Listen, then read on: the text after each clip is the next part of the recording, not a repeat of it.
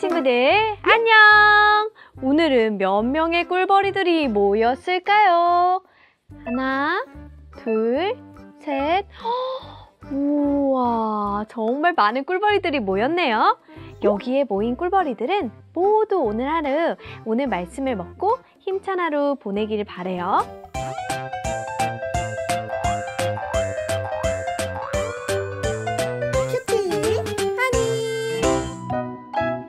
세상을 따르지 않아요.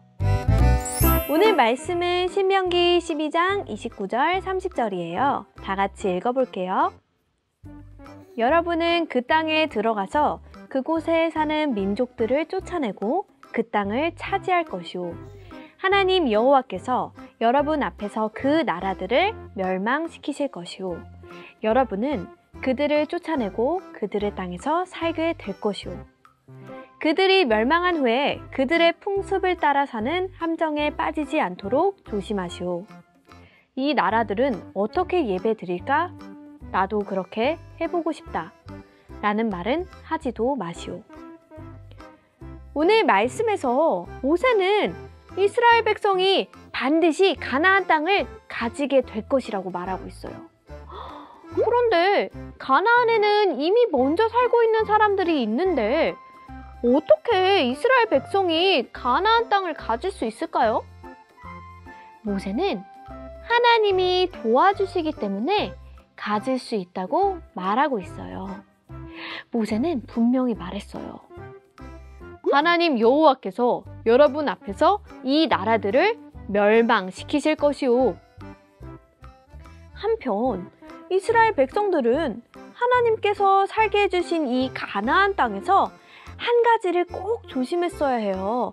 그건 바로 가나안 사람들은 우상을 섬겼는데 이스라엘은 가나안 사람들을 따라 우상을 섬기지 않도록 조심해야 한다는 것이었어요. 얼마나 조심해야 했냐면 모세는 이 나라들은 어떻게 예배 드릴까? 나도 그렇게 해보고 싶다.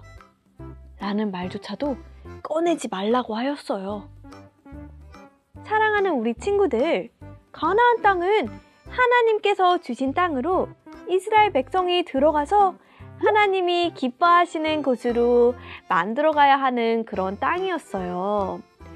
절대로 가나안 사람과 같이 우상을 섬기지 않고 하나님 말씀을 따라 살아야 하는 그런 땅이었어요. 우리도 마찬가지예요. 우리는 하나님 외에 다른 것들을 더 사랑하고 섬기면 안 돼요. 하나님 말씀만 따르기로 다짐했던 이스라엘 백성과 같이 우리들도 세상을 따르지 않고 하나님 말씀만 따라가는 꿀벌이들이 되기로 해요. 알겠죠? 그럼 내일 이 시간에 또 만나요. 안녕!